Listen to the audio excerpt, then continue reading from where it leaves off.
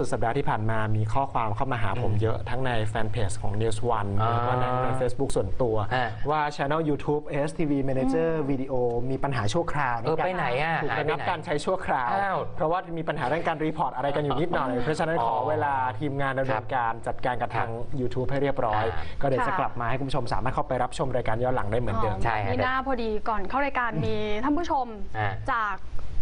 สวิตน้องครัโก้บถามมาพอดีเรื่องนี้ใช่ครับก็ได้รับคำตอบไปแล้วนะคะ จากที่น้องโก้ได้บอกไปครัเมื่บอสักครู่ครับออเพราะฉะนั้นอดใจรอแฟนๆ ทาง ค่ะ YouTube เนี่ยนะฮะรอสักพักหนึ่งแต่ว่าเราเก็บไว้อยู่แล้วแหละ รายการเนื้อหาต่างๆเนี่ยนะครับค่ะรอที่จะอัปโหลดขึ้นให้ติดตามใช่ครับ รับชมกัน ค่ะแต่ว่าช่วงนี้ดูดสดๆกันไปก่อนใช่นะเปิดค่ะทีวีมาตอนนี้ ครับ หรือว่าดูผ่านอีกช่องทางหนึ่งได้คือผ่านระบบไลฟ์สตรีมอ๋อวิธีเข้าที่ง่ายที่สุดคือเข้าไปในแฟนเพจ Facebook News One ครับ จะมีค่ะแท็บรับชนสดคือของไลฟ์สตรีมอยู่เข้าอันไปนี้ก็คือดูแฟได้นๆ Facebook ก็เข้าไปนะฮะค่ะค้นหาคำว่า News One แค่นั้นครับเอง หรือว่าก็เหมือนเดิมผ่านเว็บไซต์ หรือว่าเข้าใช้เบราว์เซอร์เข้าไปในแฟนเพจแล้วมีจะครัมีบคำว่า watch video อยู่ด้านบนอ่าก็ดูได้เหมือนกัน โอ้ใช่ครับค่ะหลากหลายช่องทางที่จะสามารถติดต่อกันได้ในวันนี้นะครับค่ะก็ต้องบอกว่าอ่าสวัสดีปีใหม่จีนด้วยนะครับสำหรับท่านผู้ชมทุกท่านขอให้มีความสุขครับขอให้มีความร่ำรวยเฮงเฮงเฮงด้วยนะครับค่ะถ้าไปท่อง